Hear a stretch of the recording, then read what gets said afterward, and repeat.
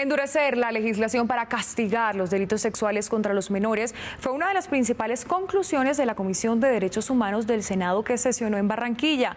El alarmante aumento de aberraciones y vejámenes contra niños, niñas y adolescentes llamó la atención de los senadores que piden celeridad en la justicia.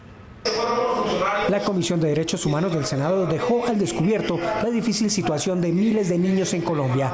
En los últimos ocho años, menores entre 1 y 16 años han perdido la vida por causas asociadas a la desnutrición, falta de agua y desatención en salud. Y creo que este es uno de los puntos y uno de los ejes que nos llevan a nosotros como Congreso, pero también al Estado, a tomar las decisiones que tengamos que tomar a fin de evitar esa tragedia o esa barbarie. También quedó en evidencia que la violencia sexual es otra de las causantes, como le sucedió a la menor Juliana Zamboní en Bogotá. Estadísticas oficiales señalan que cada 15 minutos un niño es violentado sexualmente.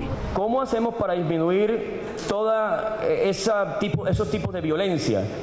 En un primer nivel, la seguridad preventiva sería erradicación de la pobreza y el Plan Nacional de Desarrollo apunta desde la equidad a erradicar la pobreza. En el seno de la Comisión de Derechos Humanos, esta cifra llamó la atención de las autoridades. Hoy un, un niño que, se, que le quita el Estado a una madre le cuesta en promedio un millón y medio.